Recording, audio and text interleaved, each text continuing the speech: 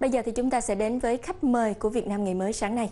Thưa quý vị, khách mời của Việt Nam ngày mới sáng nay là hai nghệ sĩ ở lĩnh vực cải lương tuồng cổ, nghệ sĩ Thái Vinh và nghệ sĩ Bình Tinh. Cả hai được ví như là hậu duệ của nghệ thuật tuồng cổ, hiện đang quản lý điều hành hoạt động của đoàn cải lương tuồng cổ Huỳnh Long. Mới đây thì các nghệ sĩ này cũng đã phối hợp cùng với các trường đại học phổ thông trên địa bàn thành phố Hồ Chí Minh mang nghệ thuật tuồng cổ đến gần hơn với các bạn trẻ, nỗ lực lưu giữ những giá trị truyền thống của nghệ thuật cải lương tuồng cổ. Trước giờ diễn của các nghệ sĩ đoàn Huỳnh Long tại trường Đại học Quốc tế Sài Gòn, khu vực sảnh trước của trường được tận dụng làm nơi hóa trang của các nghệ sĩ. Chủ biểu diễn đã đi qua nhiều trường, nhưng mỗi nơi đến, các nghệ sĩ vẫn rất hào hứng và chuẩn bị nghiêm túc trước khi lên sân khấu làm đầu làm tóc này nọ là 4 giờ đã dậy rồi. Thì à, cái đó cũng là một cái cái gọi là cái cực á. À, nhưng mà thấy các bạn đam mê các bạn hưởng ứng các bạn rất là thích luôn. Thì cái đó là động lực cho cho các bạn ở trong đầu long cũng như nhung.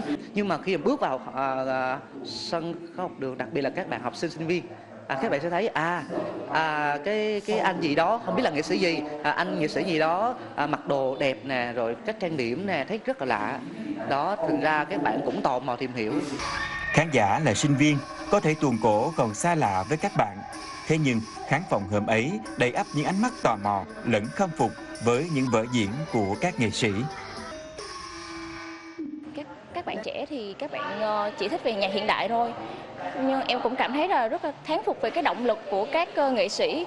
Họ có thể duy trì đến tận bây giờ thì em cảm thấy rất là hạnh phúc và biết ơn họ thì em thấy rằng là nên tổ chức thêm nhiều nữa để cho các bạn sinh viên trẻ có thể cảm nhận được cái tình yêu cái văn hóa nghệ thuật của Việt Nam mình nó không chỉ ở cái ngày nay mà ngày xưa vốn đã có những cái rất là xinh đẹp và ngay thời điểm này thì chúng tôi xin mời quý vị sẽ cùng trò chuyện với hai nghệ sĩ đại diện cho các nghệ sĩ của đoàn cải lương tuồng cổ Huỳnh Long.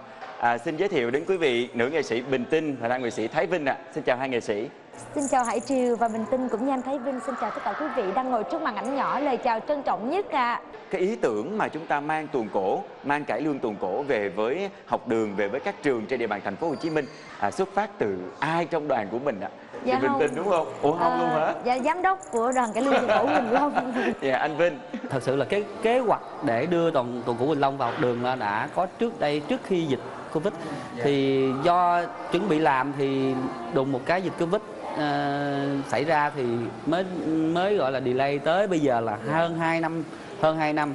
Thì uh, Vinh cũng như là tất cả anh chị em nghệ sĩ tuồng cổ Quỳnh Long mới được cái cơ hội là đưa tuồng cổ đến với các trường học. À, khi mà ý tưởng từ anh Vinh đúng không chị Bình Tinh ha rồi khi mà chị nghe ý tưởng đó thì có giật mình không ạ? à, Bình Tinh thì uh, chuyên về lĩnh vực nghệ thuật trong đoàn tuồng cổ Quỳnh Long. Khi mà anh Vinh ra quyết định thì Bình Tinh chỉ có biết tuân theo chứ cũng không dám cãi. Tại vì cơ bản đây không phải là lĩnh vực của mình. À. Cho nên là có ý kiến rồi một lát hồi là đúng nhận sai cãi mà cái này là sai không mà không có cãi được. Yeah. Dạ. Cho nên thôi thì cứ nghe theo lời giám đốc phân bổ là ừ hôm nay Tinh sẽ hát ở trường nào yeah. Dạ. và ngày mai Tinh sẽ diễn ở trường nào? À, có thể nói là tuồng cổ là một cái loại hình nghệ thuật mà phải nói là rất kén người theo dõi. Nhưng mà đoàn của mình lại một làm một cái công việc khá là mạo hiểm đó là mang tuồng cổ về với lại học đường về với lại các bạn trẻ hơn nữa. Thì cái kỳ vọng của chúng ta đặt vào cái hoạt động này là gì thưa anh Vinh? Muốn giới thiệu cho các bạn trẻ biết là à, Việt Nam mình có một cái bộ môn nghệ thuật truyền thống là cải lương hồ quảng. Trong các bạn trẻ cũng như là Vinh cũng đi qua vài trường rồi các bạn không biết cái hồ quảng là gì dạ. à, mà mà hôm nay các bạn được xem các bạn rất là háo hức và thấy bạn, có thể là các bạn có xem những trang phục này đâu các bạn không biết ở mặt sao sao ừ. thì các bạn háo hức mà các bạn đón nhận rất là rất là nhiều mà rất là nồng nhiệt ừ, Vinh cảm thấy mình rất là vui thì mình đã góp một cái xíu gì đó về cái bộ môn nghệ thuật quần cổ này. Dạ. khi mà đứng trên sân khấu của học đường nó sẽ khác với sân khấu của những cái chương trình nghệ thuật khác như thế nào chị Bình Tinh cảm nhận được nó ạ? Bình Tinh đang đặt mình vào các bạn trẻ yeah. Dạ. Tại vì Bình Tinh cũng là người đã từng trải cái tuổi trẻ Và bây giờ vẫn còn trẻ Quá trẻ luôn à Cho nên là Tinh cảm nhận một điều là Tại vì các bạn chưa biết cải lương là gì yeah. Dạ.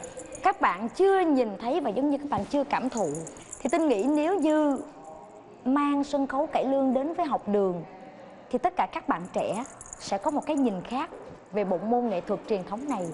Cái điều quan trọng chúng ta phải hãnh diện là vì bộ môn nghệ thuật truyền thống này chỉ có đất nước Việt Nam mới có mà thôi. Chúng ta đang nói câu chuyện ở đây làm sao để các bạn có thể hiểu một cách dễ nhất về cái nghệ thuật tuồng cổ của chúng ta.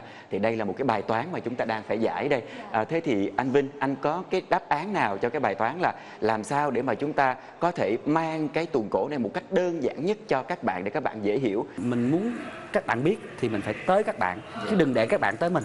Có nghĩa là đem đem tất cả các bộ môn tuồng cổ cho các bạn tự lên sân khấu, cho các bạn mặc đồ hát, mặc đồ diễn, cho các bạn những múa, những cái điệu bộ, những bộ bài bản hậu quản thì các bạn, một một bạn biết thì các bạn đó sẽ về sẽ nói là những bạn trong lớp mình nó biết. Thì Vinh nghĩ là nó sẽ gần hơn còn gần hơn là các bạn ngồi cứ xem. Rồi bạn các bạn ngồi xem mà bạn đôi khi bạn xem bạn biết nhưng mà bạn không hiểu. Sau những cái trích đoạn là MC đã lý giải những cái gì trên cơ thể của hiện tại mà bình tinh danh Vinh đang sử dụng. Giống như long trĩ hay là mão miết nó sẽ sử dụng như thế nào thế nào.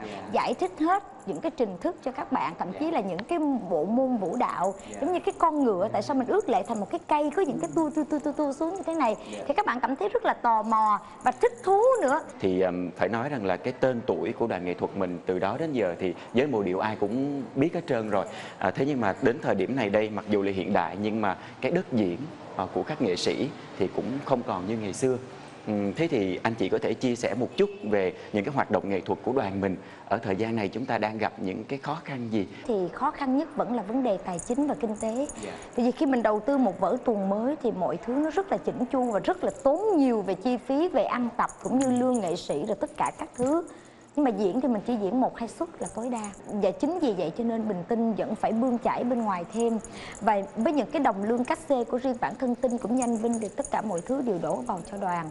Ngay những lúc cần thiết.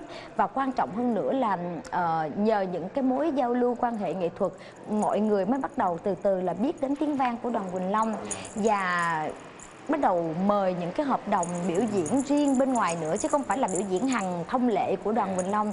Và cái vui nhất là sắp tới đây nữa thì chắc có lẽ là đoàn Quỳnh Long sẽ có một bước tiến xa hơn. Wow, nghe thú vị quá, nghe thú vị quá, có thể bật mí được không ạ? bí mật. Bí mật. Có thể là đoàn Quỳnh Long sẽ không có diễn ở trong nước nữa. Wow. Bước tiến xa hơn tức yeah. là sẽ được um, biểu diễn giao lưu nghệ thuật uh, tại các nước ngoài. Nếu như mà có một cái nguyện vọng một cái mong muốn nào đó của cá nhân mình ngay thời điểm này đây thì mong mình mong ước điều gì nhất? À, Vinh mong ước là được hát nhiều. À, được Quỳnh Long à, càng hát nhiều càng tốt. Tới nước có một uh, bà bụt nào mà hỗ trợ cho Tinh được nhiều tiền. Chị này là kinh tế lắm chị này rất là kinh tế. Để mà à, mình Tinh sẽ được đoàn Quỳnh Long sẽ được hằng đêm biểu diễn. Không phải lo lắng về phần kinh phí không phải lo lắng về phần uh, dạ vé bán được hay không. Nếu mà được như vậy thì bình tin với anh Vinh có một cái mơ ước là cái giá vé của mình sẽ giảm xuống nữa để cho các bạn sinh viên hay là những người không có khả năng nhiều á vẫn có thể coi được sân khấu cải lương vẫn có thể coi được hồ quảng với cái niềm đam mê của các bạn và mong rằng trong thời gian sắp tới với những cái cống hiến với những cái uh, sự lao động nghệ thuật nghiêm túc như chị Bình Tinh như anh Thái Vinh ở đây thì khán giả tiếp tục dành nhiều tình cảm hơn nữa cho nghệ thuật cải lương truyền thống và đặc biệt là cải lương tuồng cổ. Còn bây giờ Hải Triều và hai nghệ sĩ xin cảm ơn quý vị đã dành thời gian theo dõi. Xin chào và hẹn gặp lại ạ.